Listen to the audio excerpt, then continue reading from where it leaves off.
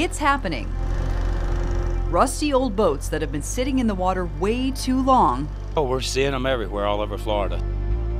are being pulled out. People who passed by these eyesores every day are happy to finally see them go. We just live down on the beach, so we travel this road often, and it's it's been here for quite a while. Are you surprised that it was there for that long?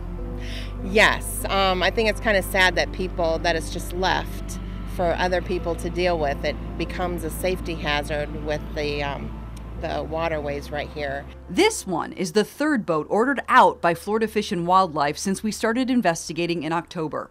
FWC is the law enforcement arm of the state that handles old abandoned boats called derelict vessels in our waterways. After our first story aired, Stephen Lee and his crew were authorized to pull these two decaying boats out of what locals call the boat graveyard in St. Pete. Sometimes you just look over and there's an abandoned ship and you're kind of just wondering, wow, that thing has been here for a long time. Here are the removal authorization letters from FWC to Pinellas County dated November 7th, 13th, and 20th. When a vessel is deemed derelict by the state, the jurisdiction where it was dumped takes care of removal. Lee says the moment the county gets authorization from the state, it takes action because these hazards can take someone's life. Some of these are partially submerged, so if you know if a vessel hits them at speed, of course someone can be ejected. We just removed one off uh, off the jetty, um, where I think four were ejected. But that's not all. When these boats sit there year after year, they pollute the water and endanger the wildlife. We have to uh, remove fuel off of them. There's paint, um, batteries, um, motor oil, different things like that. So all of that has to come off. Those are big environmental hazards, aren't they? Uh, definitely.